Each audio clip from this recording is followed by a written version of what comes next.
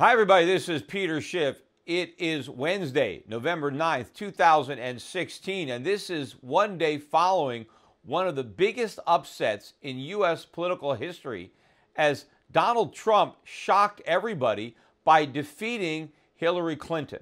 Hillary Clinton was supposedly the most qualified person ever to seek the U.S. presidency, and Donald Trump had no experience whatsoever and the establishment had pretty much already sworn in Hillary Clinton. It was pretty much a foregone conclusion that she was going to win. I think she was almost a, a 10 to 1 favorite, even on the, the, the, the day of the, the, the polls. Once they shut the polls, even the early exit polls were saying that she was going to win. I mean, the polls had had Clinton ahead pretty much the entire time, including the early exit polls. So everybody was convinced that she was going to win. Yet, all the while, I had felt in my gut that Donald Trump was going to win this election. And why did I think he had such a strong probability of winning? It's because I understood what almost nobody else in the mainstream got and that was the phony nature of the U.S. recovery. You see, the entire time President Obama had been congratulating himself for having gotten us out of the mess that was created by his predecessor and bragging about the strength of the recovery and labeling anybody who was criticizing it as peddling fiction, I understood that the fiction that was being peddled was in fact reality, and the real fiction peddler was the commander in chief. But not only President Obama, but the Federal Reserve. Janet Yellen and the rest of her cronies at the Fed constantly talked about the U.S. recovery and how the strengthening economy would at some point result in higher interest rates. Of course, Wall Street had a vested interest in peddling that fiction. So everybody believed that the economy was strong and therefore the voters would want to sign up for four more years. After all, if Obama was responsible for the recovery, they would want to continue that recovery under Clinton. They wouldn't want to go back to the supposed failed policies of Bush that somehow were now going to be, uh, you know, adopted by, by Trump. But I knew the entire time that the recovery was an illusion and it simply existed in the minds of the people who fabricated it. I knew that the average American was suffering a lot of these Americans were Democrats who voted twice for President Obama, probably more enthusiastically the first time than the second time. But I knew how much President Obama had let his constituency down. He had promised change and delivered more of the same. He had promised hope, yet now the people who had hoped were hopeless. Uh, he had failed to deliver on those promises, and I knew that the campaign that Donald Trump was running was going to tap into that vein. And in fact, I think the final commercial that Donald Trump ran, his final two minute commercial, may have been what put him over the top. Because I knew that the only way that people could send a real message that they were mad as hell and they weren't going to take it anymore was by voting for Donald Trump. And in fact, you know, even myself, I had planned up until the last minute to vote for Gary Johnson. That was my intention. In fact, had you polled me prior to the election, I would have indicated my preference for, for Gary Johnson. But I voted for Trump. You know, this is the first time I voted for the winner of an election uh, for the president, I think, in my life. I think I have voted libertarian religiously every year since the first time I voted. I wasn't able to vote for, uh, for Ronald Reagan the first time he ran. I was a senior in high school. But I was able to vote when he ran for reelection. And I didn't vote for him. I voted Libertarian because uh, I was disappointed in the run up of the national debt. Even though I liked him, I, you know, I was upset about the increasing debt. And so I voted Libertarian. And I've been voting Libertarian ever since until I just voted for Trump. And the reason I voted for Trump, my, I was driving to the polls and my wife convinced me in the car to vote for Trump. And what caused me to do it was I had been voting for libertarians, not because I thought they were going to win, but because I wanted to send a protest too, because I didn't like either of the candidates. And even though I was living in Connecticut, and I was pretty sure that there was no way Trump was going to win Connecticut, I thought that voting for Trump represented a better protest than voting for the Libertarian Party. That this time an outsider had infiltrated the Republican Party and to me represented a better protest vote, a better way for me to deliver a message of disgust to the powers that be was voting for Trump. And more people in the mainstream seem to not want Trump. I mean, nobody really spent much time uh, talking about how bad it would be if Gary Johnson were president. But everybody was assuring us how awful things would be and how horrible it would be if we voted for Donald Trump. It seemed to me that I could piss more people off by voting for Trump than I could by voting for uh, Gary Johnson. And, you know, I knew at that time if I was making this decision, if I was voting for Donald Trump, out of protest, then a lot of other people were doing the same thing. Now, don't get me wrong, there are things about Donald Trump that I like, but there are plenty of things that I don't. So he's not my ideal candidate, but he was the ideal protest candidate. And I knew all along that this sentiment was there, but it was being underestimated because people believed the numbers. And I have done a good job on my video blogs and more frequently on my podcasts over the years going through why all the numbers uh, were phony why the jobs numbers didn't tell the whole story, why the GDP numbers were inflated. I knew that the rosy picture that everybody was painting wasn't real. And I also knew that the average American knew that it wasn't real. You know, Hillary Clinton's husband, when he ran, said it's the economy stupid. Well, it was the economy stupid again. I mean, despite all the other noise in this election, despite Hillary Clinton's criminal behavior, which unfortunately many people were willing to overlook in their support of Hillary Clinton.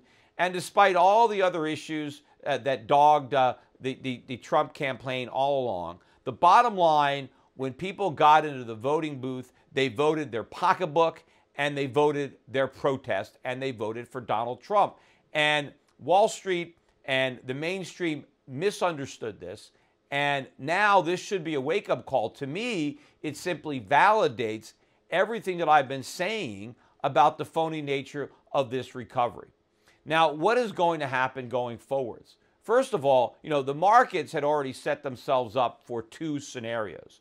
The first scenario was going to be a Hillary victory, which was pretty much baked into the cake, especially after the FBI uh, announced that, okay, we reopened our investigation of the emails, but we found nothing, and now we're closing it again. Uh, the market was prepared for a Hillary Clinton victory. I thought it would be the buy, buy the rumor, sell the fact. I expected maybe the markets to rally initially, uh, gold to sell off, and then for the markets to reverse, as they often do. That's actually what happened this time, only the reverse.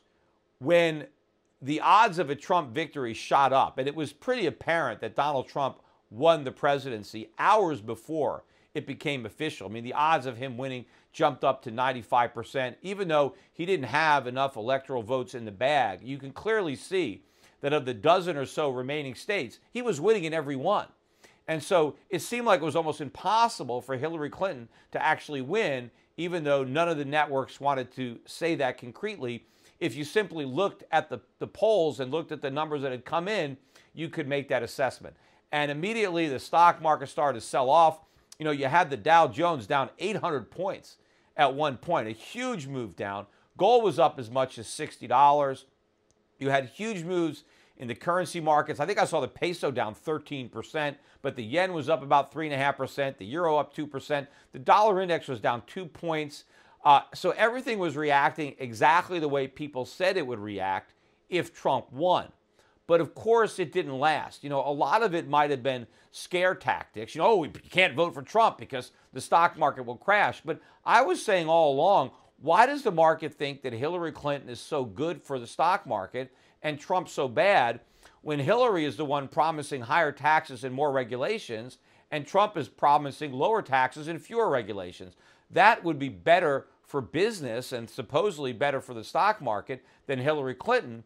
Although I did understand that the stock market today in America has much more to do with cheap money in the Fed than it has to do with the actual economy or the underlying earnings of the companies. So I thought maybe Wall Street thinks that the cozy relationship between the Federal Reserve and uh, Wall Street and the government had a better chance of continuing under Clinton uh, than under Trump, who was a wild card, an outsider, who had been very critical of the Federal Reserve, accused the Federal Reserve, rightly so, of being political and having inflated a bubble. So maybe they thought that a President Trump meant that bubble was going to burst.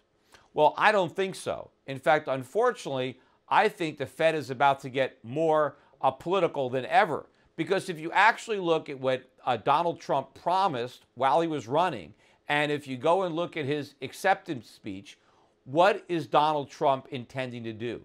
He is intending to increase government spending on infrastructure to create jobs, on national defense to make us safer, to take care of our vets, uh, to build a wall. He's talking about massive increases in government spending. And at the same time, he is talking about substantial cuts in taxes. He wants to cut the corporate tax rate, he wants to cut the individual tax rate. This is something that we haven't seen since, I think, Ronald Reagan. In fact, a lot of people are talking about this now as if, hey, this is going to be Reagan all over again. This is going to be huge growth, another Reagan revolution. It's morning in America. Unfortunately, it's more like midnight in America because Donald Trump is going to run into a brick wall that didn't exist at the time of, uh, of uh, Ronald Reagan. And the bond market really is giving a big flashing warning sign. I mean, everyone's going to talk about what happened in the stock market. Oh, the Dow ended up up 250 points, and even though gold was up 60 bucks, it ended up negative a couple bucks uh, by the time it closed. Although gold stocks had a very good day. In fact, gold stocks outperformed the overall market. But you're not going to hear much about the bond market. And of course, the bond market did have a spectacular reversal because the knee jerk reaction to the Trump victory or the high probability of a Trump victory was a big rise in bond prices and a drop in yields. But it reversed in a spectacular fashion. This is one of the biggest bloodbaths I've seen in one day in the bond market. You saw a huge spike in yields in the 10 year up to the 30 year. The 10 year is now, I think, almost 2.1 was the high, about 2.9 on the 30 year. These are big moves overnight. And of course, interest rates have been inching up uh, before today, but today was an explosive move. And some people are saying, well, maybe this is just the bond market uh, reacting to the possibility of higher growth. No, this is the bond market reacting to the possibility of much bigger deficits, huge supply. See, what Donald Trump is promising to do is going to explode an already enormous budget deficit. And remember, the Federal Reserve now is claiming that QE is done and that they're raising interest rates. So the only way to finance a big increase in government spending and tax cuts, the only way to make these big deficits possible is if they find private buyers for these bonds. And they don't exist. You know, when Ronald Reagan came into office in, you know, 1980, 1981, and he ramped up the deficits in order to pay for his tax cuts. Think about the condition that the United States economy was in when he took the reins from Jimmy Carter. First of all, our debt to GDP back then was about 30%. And during the eight years of the Reagan administrations, we increased the debt. Now remember, Reagan campaigned against the debts of Jimmy Carter, and he promised to balance the budget. None of those promises were kept. And he increased the debt, and the debt went to about 50% of GDP by the time he retired. Now, how did we finance this huge increase in government debt? We financed it privately. The Federal Reserve wasn't monetizing it, we had tight money. But also, during the eight years of the Reagan terms, interest rates steadily declined. When Ronald Reagan took office, the yield on the 30 year U.S. Treasury was close to 14%. Now, by the time he left office, it was below 8%. So it wasn't quite a 50% reduction in yields, but it was a huge reduction. At the same time, when Reagan came into office, CPI inflation, you know, the way they measured it back then, which was a much more honest way than the way we do it now, but the official measure of inflation was about 9%, and when he left office, it was 4.5%. So inflation had been cut in half, and we gave bondholders a great deal. Hey, if you want to lend us money, to finance these deficits so we can get the economy growing, we're going to give you almost 14% and we're going to fight inflation and bring it down, we were giving our creditors a good deal. And we were borrowing money when we weren't already broke. And back in 1980, America was still the world's largest creditor nation. So our bonds seemed like a good risk, and we were paying a very, very high rate of interest to people willing to loan us the money. Fast forward to 2016, if um, Donald Trump thinks he can pull a Ronald Reagan, if he thinks he can cut taxes, increase government spending, and somehow finance that, it is impossible. And the bond market is just starting to show that. We've already got right now our debt to GDP is 105%. If we were to increase our debt to GDP by the same percentage as Reagan, it would have to go up to 175% of GDP. That is impossible to do. And remember, what yield are we offering our creditors? We're offering 2% on a 10 year and almost 3% on a 30 year. Who's going to want to buy that? Especially when inflation is low but rising. It's not high and falling.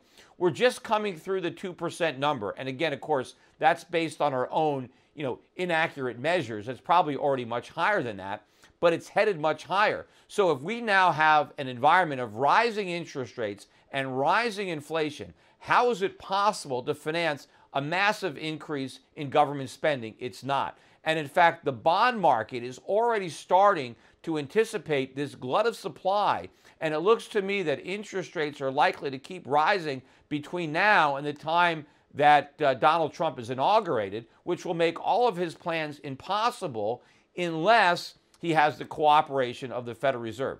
You see, he's going to have to break his promise to increase government spending and not cut Social Security, or he's going to have to make the deal with the devil in the Federal Reserve. He's going to have to rely on the Federal Reserve to accommodate this massive increase in government spending that he wants and to finance the tax cuts that he's promised.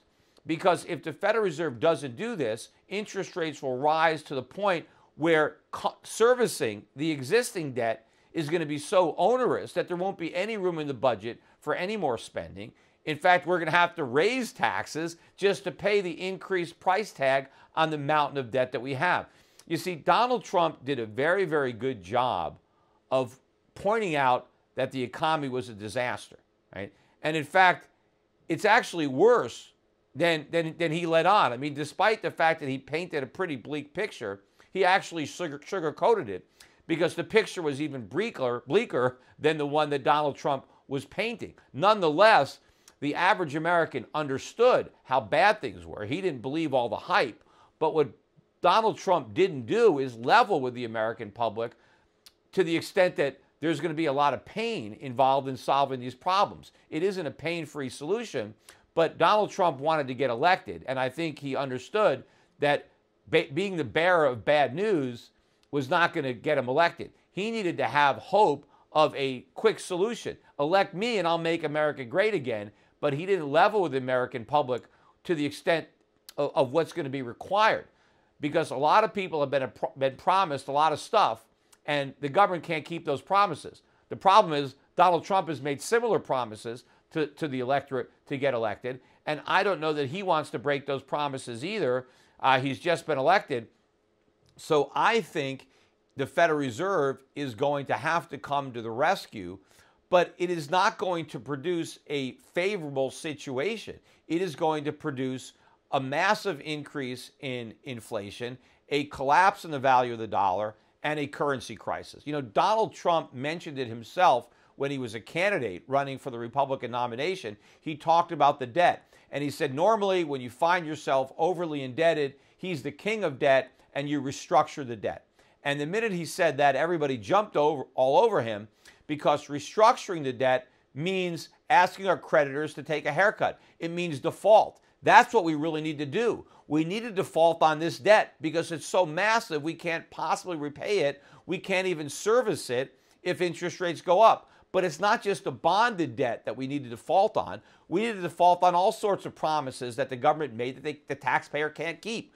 We need, we need to tell the people on Social Security, you're not going to get all your money. We need to tell people who are collecting government pensions that the money's not there. But nobody wants to do that. And Donald Trump did not prepare the electorate for that type of tough love. He was elected based on the fact that he could make America great again without asking anybody to sacrifice in, in the process. But we're going to find out just how much these deficits matter. See, we've been papering over the problem because we've been content to, to live in a financial bubble. We've been content uh, to allow asset bubbles uh, to continue to inflate as the, we allow the standard of living of the average American to deteriorate. Donald Trump wants to do something about that. Donald Trump wants to change the direction of the country. He wants to go back to real economic growth that benefits everybody. But the problem is we have to deal with the elephant in the living room first. We have to deal with the enormity of the debt that we've already accumulated during the bubble years. And there's only two ways to do that. We can honestly default on all these promises and, and, and reboot the economy but ask a lot of people to make to accept a lot of sacrifices because they're not going to get paid the money they've been promised or we can do it through inflation. And if you remember when donald trump initially uh, you know floated that trial balloon about renegotiating the debt he quickly changed. And he said oh we would never have to do that because we could just print money and that's what we're going to do. And i think that is what he's going to do. So as much as he criticized the federal reserve for being political under uh, under under Obama, the Fed is going to be just as political under Bush. I mean, under under Trump, except a currency crisis is going to intervene and put an end to it. That is where we are headed, and maybe the election of of, uh, of Trump will accelerate this process of a currency crisis. Because when we try to finance these debts, when the Federal Reserve has to call off the rate hikes, maybe they'll call off the December rate hike, uh, but they're not going to be able to hike rates when they have to, you know, relaunch quantitative easing because the only way to finance these deficits is for the Federal Reserve to do it because there's nobody who's going to buy these bonds at such low rates of interest and we can't afford to sell the bonds at a market rate of interest. The Fed is the buyer of only resort and when they have to ramp up uh, QE and they and the dollar starts to collapse and the inflation genie that's already out of the bottle and the rate's going to start to pick up we are going to be headed for a currency crisis and it's going to hit the fan and it's going to happen during uh, the trump administration. And the, the good thing about donald trump being there being at the helm of this titanic when we finally hit this iceberg that we should have hit a long time ago is that maybe donald trump will have the good sense at that point when we are in a crisis he is not going to avert the crisis. And in fact, with a Republican controlled Congress, he's going to try to be all things to all people. There is no brake at all on, on government spending or tax cuts. And as long as they think they can get away with it, they will do it until the market brings an end to the party. And when they do, finally, we may make the appropriate reforms. I think potentially Donald Trump might understand that government is the problem and that the free market is the solution.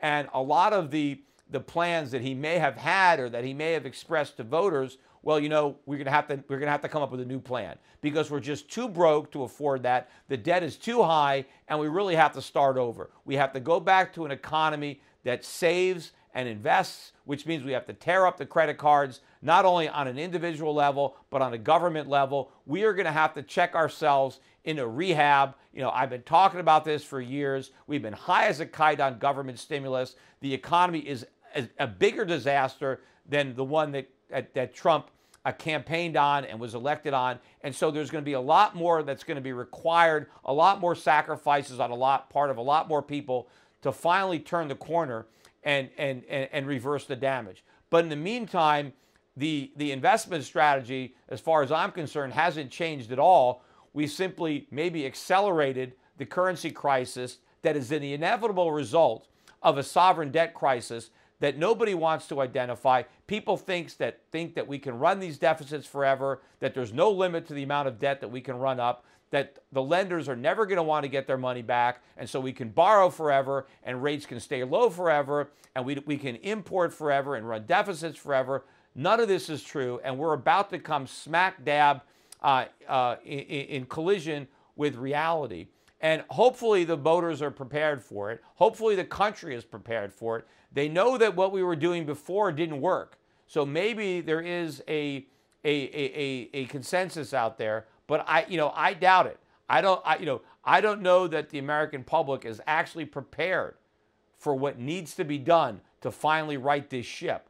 But hopefully we can do it. And maybe we have a better chance of doing it with Donald Trump as the president and Republicans in Congress than we might have been, certainly, had Hillary Clinton uh, been president, and even worse, had the Democrats taken control of Congress. But that's it for now. But make sure I'm doing far more of my podcast. I'm doing a couple a week.